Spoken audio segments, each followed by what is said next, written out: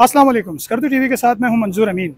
नाजिन स्कर्दू दारुल हुकूमत है, सयाहत के अतबार से पूरे पाकिस्तान में माना जाता है और इंटरनेशनल टूरिज़म का भी एक हब माना जाता है, जिसमें नेचुरल टूरिज़म के साथ साथ एडवेंचर टूरिज़म को बहुत ज़्यादा फ़रोग मिल रहा है और रवा साल मुतद जो ट्रैकर्स हैं, उन्होंने बलतरों का विज़िट किया और मुख्तलिफ़ बलिस्तान की वादियों का रुख किया।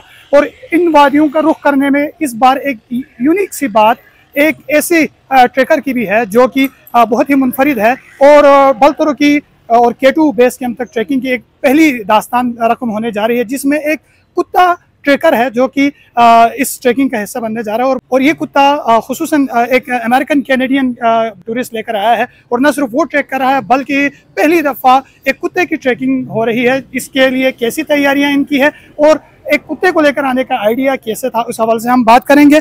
हमारे साथ मौजूद हैं अमेरिकन कैनेडियन एक जो शहरी है। Hello how are you first of all welcome to Skardu thank you so much and it's a unique idea that before going to talk about your idea that why you have brought this dog with you I would like to know about yourself and then I want to know about the breed of this dog and then tell us that why you have brought this dog to a most toughest trek of the world.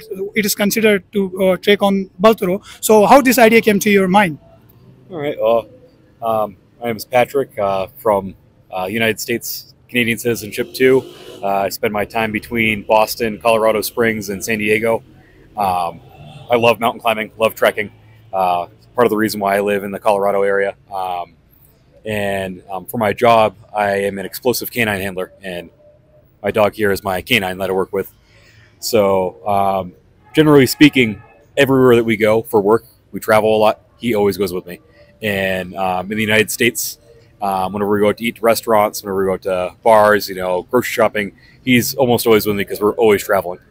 So, um, you know, we finally got a good chance to take a good long vacation, and I wanted to go somewhere where I could take him along with me and not have to leave him at home. And Pakistan has always been on my list of places I wanted to visit, um, K2 especially. Um, you know, for most of my life, you know, I've been fascinated by mountains and um, climbing, and I've always wanted to go to K2. So um, when it came down to it, um, you know, Pakistan was top option for me. And uh, when it came to doing the K2 trek, actually wasn't all that difficult in terms of logistics.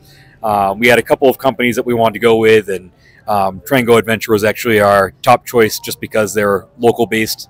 Um, they use local guides and um, local employees. We wanted to make sure that the locals were actually, you know, getting the proceeds from the trek. So um, we reached out and we got a almost immediate response from Shahid, and he said, "Oh yeah, you know, no problem. We can take the dog. Like he can tag along." And um, after that, it was really just doing research into how to get him into Pakistan, which um, was pretty easy. Um, just you know, regular vaccines and shots, and doing the import paperwork. And we reached out to the um, import quarantine officer in Islamabad and um, talked to him ahead of time, and he got us through the process, and it was you know pretty easy to get him over here. So um, the biggest logistical issue was getting a flight.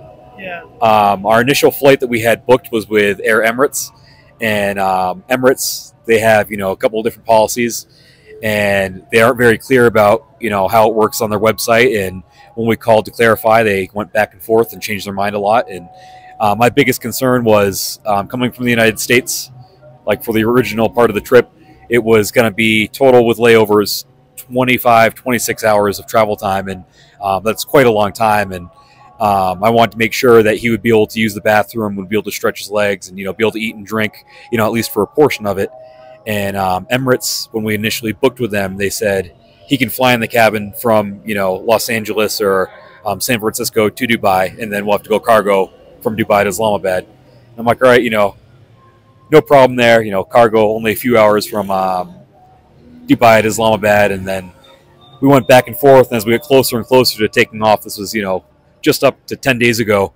They were like, "Oh yeah, uh, he has to fly cargo the entire way," which you know, 26 hours without eating, drinking, or using the bathroom was a huge issue. So um, we ended up rebooking our flight with Turkish Airlines, and they allowed him to fly in the cabin from the United States to Istanbul, and then um, from Istanbul he got to fly cargo, four and a half hour flight, which wasn't that big of a deal.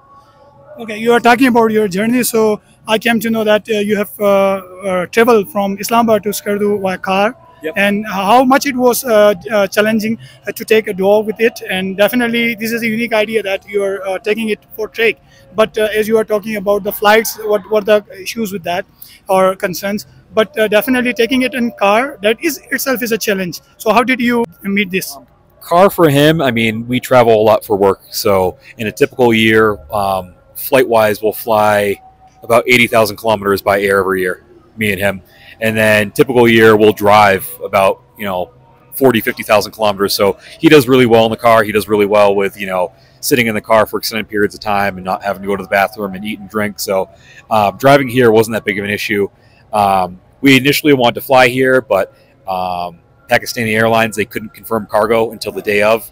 And we actually got a call yesterday morning, um, early in the morning, saying that they did not have pressurized cargo because the cargo hold needs to be pressurized for him to fly for his safety.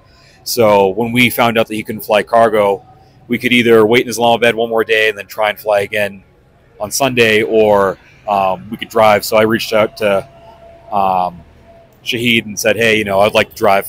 I mean, I, I like driving as it is.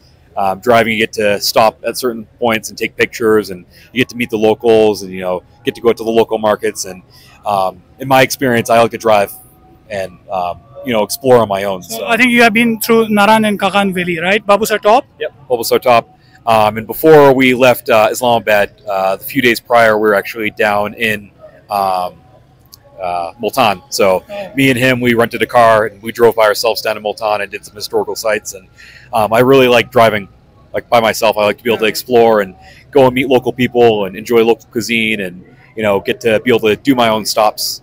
And um, I think it's one of the greatest things is um, that's allowed now in Pakistan. They Okay, they so get rid of uh, NOC. I think that coming back towards the trek, which you are going to start soon, maybe tomorrow or day after tomorrow.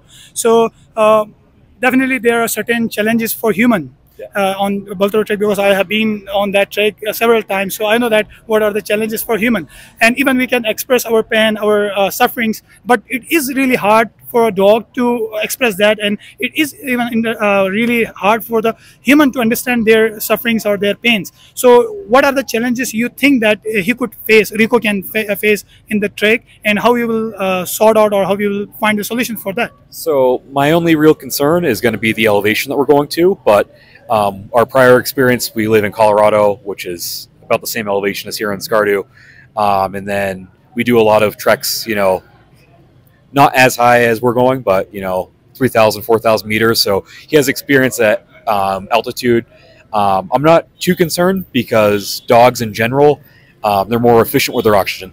Um, the typical human VO2 max, which is our ability to move oxygen and provide our body with oxygen, the typical human's between 70 and 90. I forget what the unit is. And for a dog, it's um, in the high 200s, almost 300s. So dogs are a lot more efficient at moving oxygen.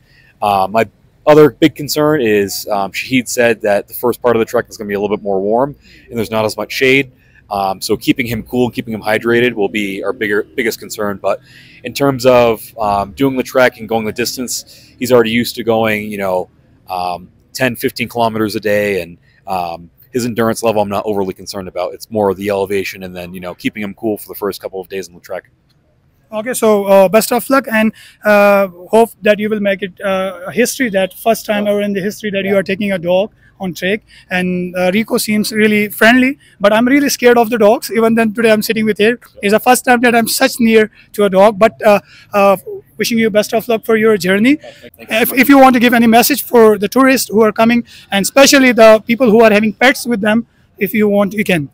Um, the people here are really friendly. Um, don't be afraid of you know the name. Uh, it's the biggest thing that a lot of my friends and family said. They're like, "Oh, Pakistan," and they just they hear the word "stand" and they think it's a big scary place. And I'm like, you know, all the research that I've done, um, and I have friends over here that live in Lahore and you know live in other parts of the country, and um, the people here are very friendly. And from what I gathered from them before I even traveled here, is that the people here are very friendly. And I watched a lot of YouTube series, uh, Wild Lens by Abrar, very popular uh, motorcycle rider.